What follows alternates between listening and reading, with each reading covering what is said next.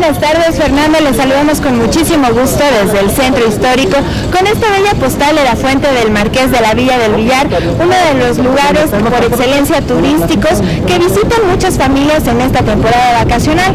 Actualmente se espera que la hotelería se encuentre al 80 o 90% de su capacidad, incluso con un repunte del 80% en comparación con lo que es la temporada baja. Se habla de una expectativa superior a los 120 millones de pesos en derrama económica a lo largo de estas dos semanas. Y aquí la perspectiva de los turistas de qué conocerán sobre Querétaro.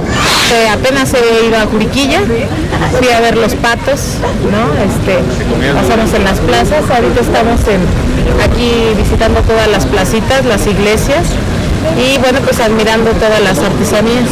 ¿Algún otro sitio que planea recorrer en estos días? Este, el, cer- el cerrito se llama, es, eh, tiene historia y viene eh, precisamente, eh, explican pues cómo se, se tuvo la, la incorporación de los terrenos y desde ahí se ve todo, toda la parte de la ciudad.